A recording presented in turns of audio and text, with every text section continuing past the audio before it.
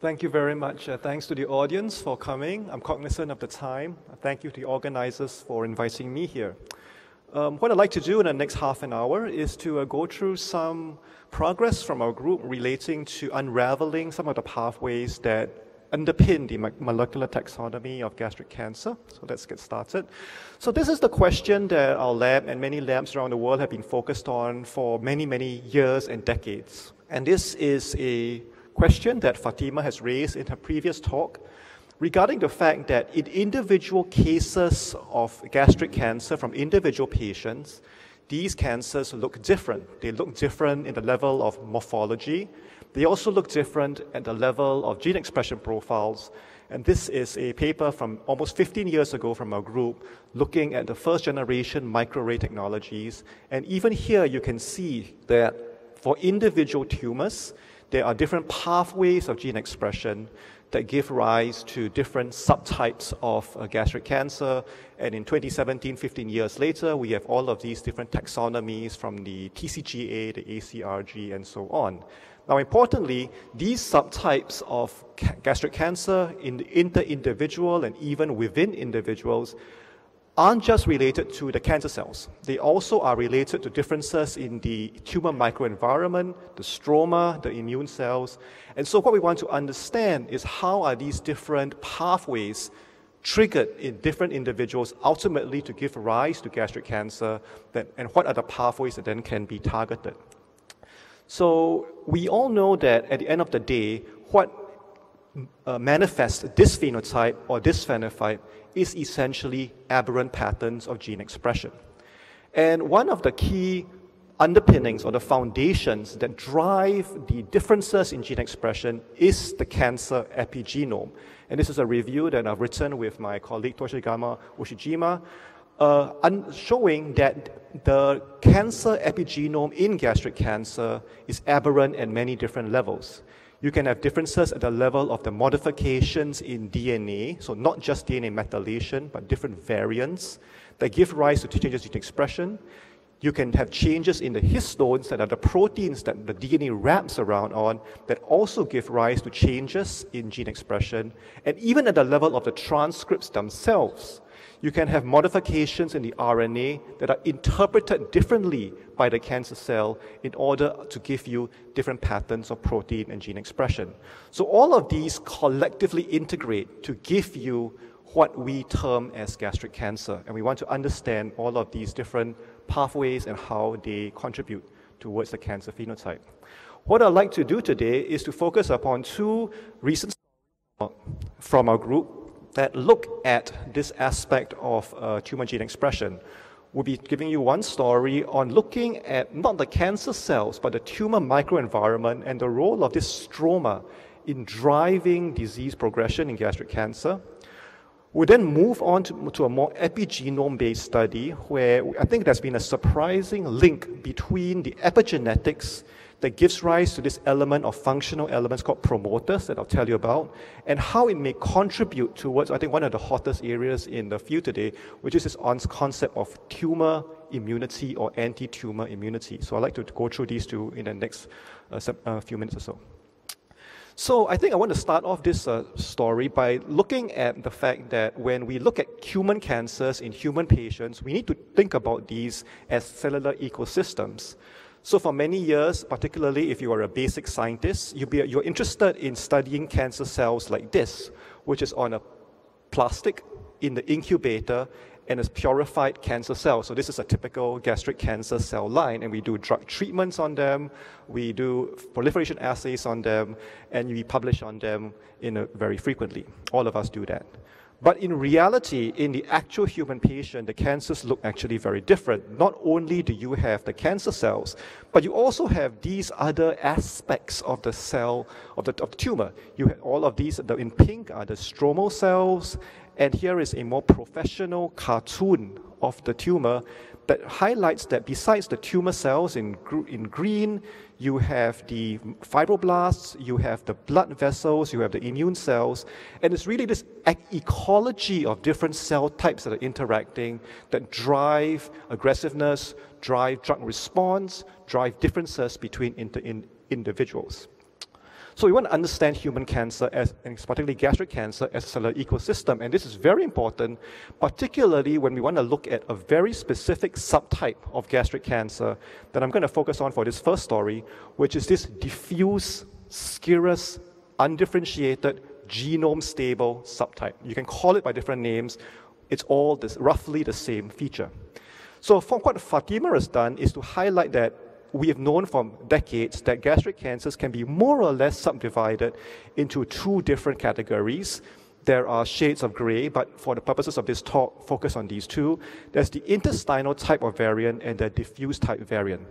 The intestinal type variant is well differentiated, it's got typically better prognosis, and importantly, it has a number of targetable alterations. HER2 amplifications are found in this subtype, MSI tumors are found in this subtype, it generally has some ways that we can treat these cancers. Contrast that to the diffuse type of gastric cancer, which is very specific, I think, to the gastric cancer milieu, is that it's very poorly differentiated, very little adhesion, and we now know from the sequencing studies, from the copy number analysis, that there are very, very, very few targetable alterations. You, it's hard to target CDH1. So we want to understand a bit more about what are the pathways that are driving the diffuse type. And the key difference in the diffuse type is that because of the, of the scattering of the tumor cells, there's a lot of stroma. So could the stroma be doing something in helping the diffuse type gastric cancers to do its thing, to uh, become aggressive? So this is a collaboration between uh, some colleagues from Japan, Kumamoto University, Dr. Ishimoto and Dr. Baba, in which we are trying to understand the interactions between the cancer cells and the CAFs, the cancer-associated fibroblasts, in diffuse type gastric cancers. And what we've done here is to highlight that these CAFs and these cancer cells in diffuse type gastric cancers do something quite interesting. So I'll highlight here as a negative control, what we've done here is to take a typical intestinal type gastric cancer. This is the well differentiated. In green are the cancer cells, in red are the fibroblasts, and here we have merged them. And in the intestinal type gastric cancers, in typically the green cancer cells and the red fibroblasts tend to be fairly well demarcated from one another. There's a basement membrane. They coexist in the same tumor, but they don't really interact that much. It's well differentiated. But contrast that to the diffuse type gastric cancers, and here are two cases, and there's a graph here where we can quantitate that, where if you look at the green cancer cells and the red fibroblasts, you see there's a lot more intimate touching and interaction and communication. They're actually touching one another. And so this highlights that there may be a very specific interaction that the diffuse type cancer cells need to have the interaction with the fibroblasts in order to do something so we want to understand that further. Now, we can only do so much by looking at these histological pictures. So what we've done here is to take surgically resected tissues from patients with diffuse type, serous type gastric cancer. We can go for the, the gastric cancers, we can go for adjacent normal tissue, and by look, doing a variety of different markers, we can sort out the different cell populations in each tissue compartment we can, we can isolate the endothelial cells, the hematopoietic cells, the epithelial cells, and for the purposes of today's talk, we can isolate the fibroblasts. We can get the normal fibroblasts and the cancer fibroblasts from each patient in a paired way. And once you have these isolated, you can do short-term in vitro cultures, you can add drugs to them, you can co-incubate them, and you can look at the types of changes that occur. And I'll show you some of that data in the next few slides. Importantly, um, when we do the sequencing of these fibroblasts, they almost have no somatic mutation. So these are not cancer cells that have undergone EMT, but are true stromal fibroblasts. Now, one of the things you can do when you have these isolated cells is that you can then put them back together and watch what happens. So I'm going to show you this uh, in a slide, just one data, where in green are cancer cells. These are diffuse type cancer cells from a diffuse type cancer patient. And if you just look at them on a dish, they just sit there. They don't do much. Now, if you co-incubate these cancer cells in green with normal fibroblasts, there's a bit of movement, but again, the cancer cells more or less stay in the same place, and the normal fibroblasts just sit there. Now, watch what happens when you incubate the cancer cells with the cancer fibroblasts. Now, and watch this part here. You see that the cancer fibroblasts move much faster, but not only that, the green cancer cells get attached to the fibroblasts and they get dragged along with the fibroblasts. So we call this a tugboat mechanism. The cancer fibroblasts are moving faster, but not only are they moving faster, they're bringing along the cancer cells with them, which is what we kind of see in the diffuse type gastric cancer setting. And you can, and you can quantitate that by using this sort of graph over here, that there is a increased motility when you co-incubate them with the calves. This is seen in vitro and this is seen in vivo as well. So here is a orthotopic model where we've injected the cancer cells and the calves together in the stomach of mice and asked the question, do this, does this change local growth and does this change lymph node metastasis? So just to, in, in this case over here, you, have, you, you are co-injecting the cancer cells, the cancer cells with the normal fibroblasts and the cancer cells with the calves. And in terms of local growth, local cell proliferation, there's not much change, which is what we see in the human setting also. If you do a cell proliferation assay, a Ki67 assay on the diffuse type cancers, they don't really have much more uh, cell proliferation compared to an intestinal type cancer. But at the level of the metastasis to adjacent lymph nodes, we see that there's a significant increase when you co-inject with a CAS, suggesting that the role of the CAS in diffuse type cancer is to accelerate the pro-metastatic program, that seeding program.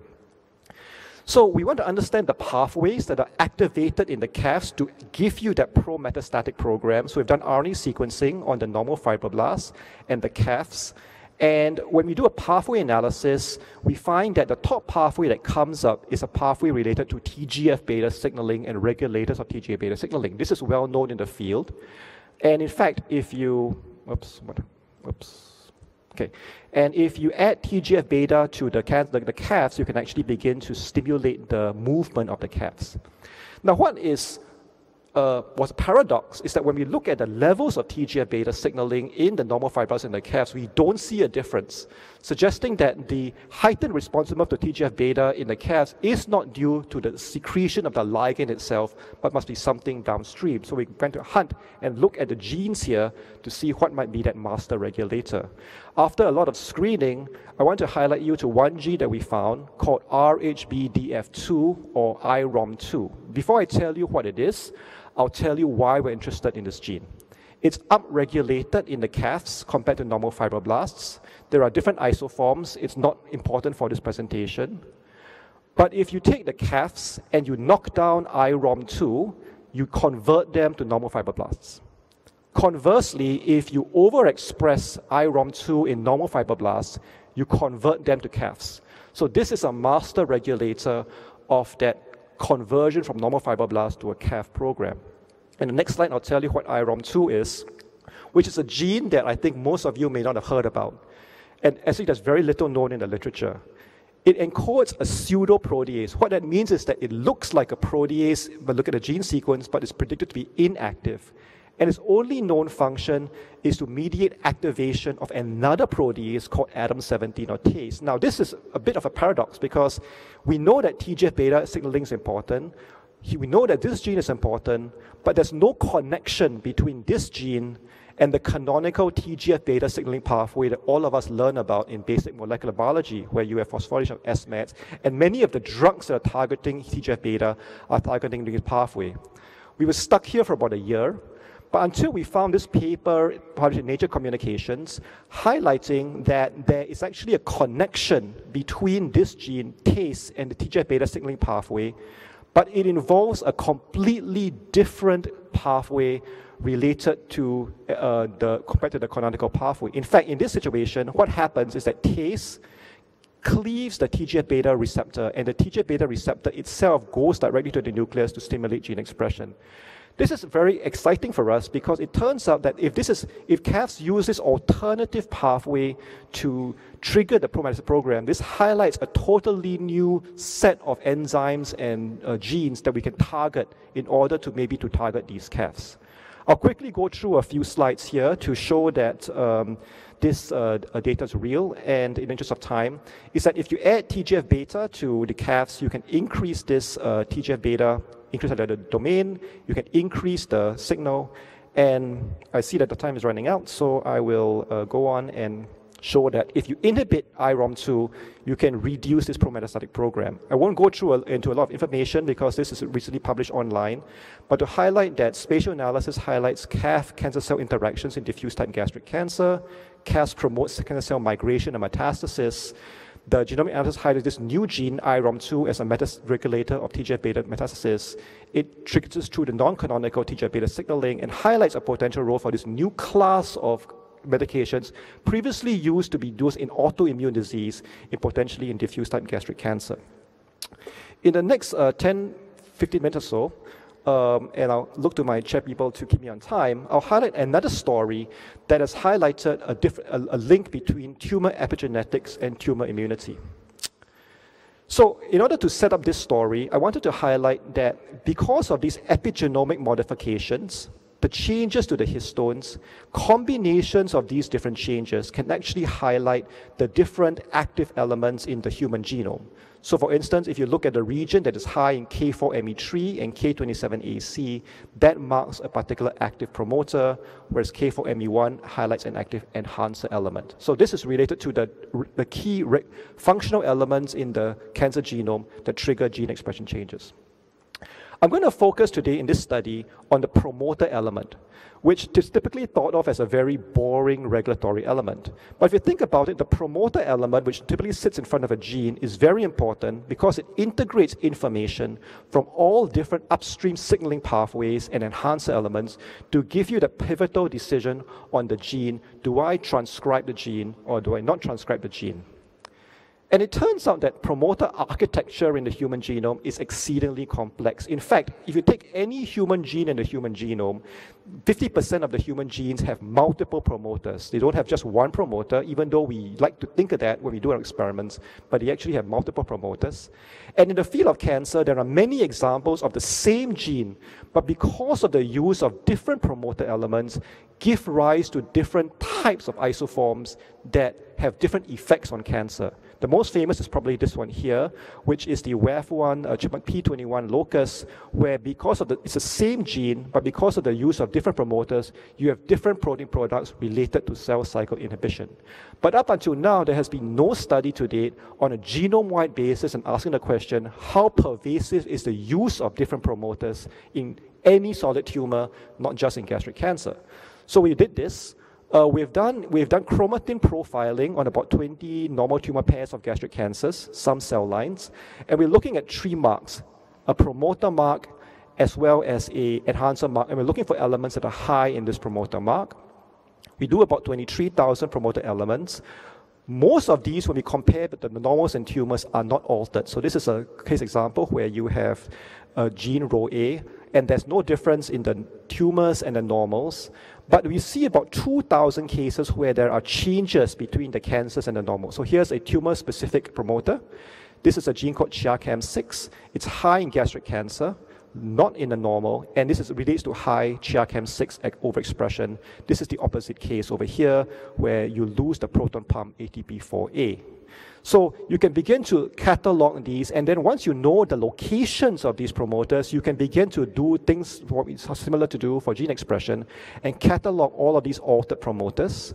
And what for, for this talk is that many of these promoters all map to these genes with multiple promoter start sites. And now we want to look at this because this hasn't been looked at before in the previous literature. This is a cartoon of what I'll be showing you, where you have the same gene and you have two different promoters. And we're going to be looking at cases where in the, no, the canonical isoform, there's no change in the promoter between the tumor and normal, but in the alternative isoform, there's a, there's a change. This is a, a cartoon level. This is what it looks like in real life. Uh, Fatima highlighted the gene HNF4 alpha, and here you have the canonical promoter, there's no change in the promoter, but here in the tumor you have gain of a somatic promoter, giving you to have a new isoform of HNF4 alpha, which also has different properties. This is known in the field, but here's a gene that some of you may be interested in, EpCAM, which is a gene that's used to circulate tum- uh, to sort circulating tumor cells, and again you see the similar fashion, suggesting that EpCAM uses a tumor-specific promoter. Uh, we can use this in, in a way to identify new oncogenic isoforms. I won't go into this uh, too much, but I want to highlight this very interesting example, which is a gene that most of you may know about, MET, which has been tried in gastric cancer and not worked in gastric cancer. And what we find in this uh, earlier paper and also reiterated in the uh, TCGA data is that there is an alternative form of MET that actually removes the N terminus through a different promoter that actually removes the antigen that the MET antibody is targeting in the therapeutic trials. Now, what's the function of this is not known. So what we've done here is to express the wild type variant and the promoter variant in cell lines. And if you can look over here, even in the absence of any ligand, the promoter truncated variant has constitutive signaling activity, suggesting that you don't need the ligand if you chop off the promoter in order to affect. And could this be a reason why some of the MET trials have failed? We don't know. This is worth investigating. Um, this is the highlight of the, of the, story. It turns out that when we look at many of the promoters that are used in the tumors, you tend to lose uh, the amino terminus of the protein. So we thought that this must be a reflection not because it's trying to generate new cancer promoting isoforms, but there must be some selective pressure from the outside that's causing these N terminal promoter regions to be lost. And what could that be? We think it's the immune system. So what we've done here is to highlight all of the promoter regions that are lost in the tumors and done computational predictions, suggesting that these regions are actually highly enriched in peptides that are predicted to be highly immunogenic. And so this provides a mechanism that if you lose those, the tumors can reduce the antigen profile and therefore evade the immune system. This is seen from the computational basis. And we've done a variety of different in vitro assays where we've taken all of these different promoter peptides incubated them with healthy donors and in different types of in vitro cultures. And in most of the cases, over 50% of them show a very potent immune stimulatory response when you incubate them with blood cells from either healthy donors or blood cells from cancer patients, suggesting that these are indeed very immunogenic peptides, suggesting that the tumor has a good reason to lose those, those particular, particular peptides. Um, this is my last data slide. And here, what we've done here is that once we know the locations of these alternative uh, promoters, we can then begin to look at their expression in primary tumors and correlate them to other features of the human tumor immune system, like CD8 level activity. And we're going to be looking at the correlation of gastric cancers with a high usage of these alternative promoters with two markers of T cell activity, granzyme A and perforin A, perforin 1, that are markers of T cell cytolytic activity. If T cells express these two, the T cell is trying to kill the tumor. Uh, we can do this because now we know and we can design a nanostring assay to specifically target those promoters. When we do it in the Singapore series, when the, between tumors that have high usage of alternative promoters and low usage, there's no difference in the CD8 count. So the CD8, the, the, the, the, the CD8, the T cells are there in the tumor, but there's a significant difference in the T cell cytolytic activity, meaning that if you have high promoter usage, the T cells are attenuated in trying to kill the tumor. This is seen in the Singapore series. This is seen in the TCGA series, where we can now infer the for location using RNA-seq data, and this is seen in the ACRG series, which is in the, the, the third. So in the three of the largest gastric cancer cohorts in the academic literature, we see the same pattern that if you have high alternative promoter usage, you have re- reduced T cell killing activity, suggesting that if you find a way to reawaken those, maybe we can enhance the antigenicity of these tumors and maybe poise them for targeted immunotherapy. So the model here is that we think that this is a novel, unanticipated aspect of tumor immunoediting. Tumor immunoediting refers to the process when the tumors grow, they must find a way to evade the immune system. In a normal cell, DNA produces an mRNA, produces a protein. Now, in the normal situations, these proteins are in the right place at the right time, they're lowly expressed, and so they are not immunogenic. But in a tumor, these are highly expressed, and suddenly you begin to trigger the immune system from coming in because now it recognizes the immunogenic peptides. So, as a result of this, the tumors have to prune their upstream promoters to evade the immune system. And so this is an epigenetic phenomena, and there are epigenetic drugs that we can try to use to reverse this phenomena. So the, the this is my last slide. This was featured on uh, this month's uh, the cover of this month's issue of Cancer Discovery. This is the largest catalog of epigenome-guided promoter elements in gastric cancer. Tumor-specific promoter isoforms are widespread, frequently mapped to multi-isoform genes. They result in pro-oncogenic isoform, but collectively they decrease tumor immunogenicity. And what I haven't shown you is that these are actually targeted by an enzyme called EZH2. And so by inhibiting that in combination with immunotherapy, we may be able to break tumor dormancy and increase the number of tumors eligible for immunotherapy. Thank you very much for your time. Thank you.